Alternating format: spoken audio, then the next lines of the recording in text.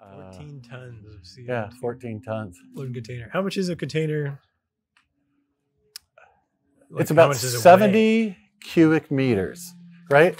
And I know you know your cubic meters, right? You're a metric guy. No, I just uh, All right, so it's not 14. I'm a switching. okay. I'm a, I'm a right. bi-directional. So uh, it's about 400 packs, 430 packs, 430 packs in an average 2,500 square foot house, just the wall area at two inches thick.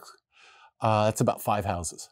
Okay. So if you take 14 tons of CO2 sequestered in the container at port on the West Coast uh, and divide that by five houses, um, you get about, two, you know, what, two and a half to three half, yeah. tons sequestered per house just in the insulation, hmm right? So that's Yeah. just, that's CO2 saved, pulled out of the atmosphere and saved for the life of the building. So hopefully this job, this stuff's going to do its job and protect that building and keep it from Right. falling down and the owners will love it and Right. it'll stand for a long time and all that good stuff. Yeah, that's what we're building for. We're building for longevity, so that this this carbon will stay in the building for 100 plus years Yeah. at least. Yeah. Once we once we make the building stand up, that carbon's, you know, that uh, um, the emission from the act of building and using all the building materials is there. So the longer we can amortize that uh, carbon release over a longer period of time, then um, the better yield about on the embodied energy that we use to produce a building with. So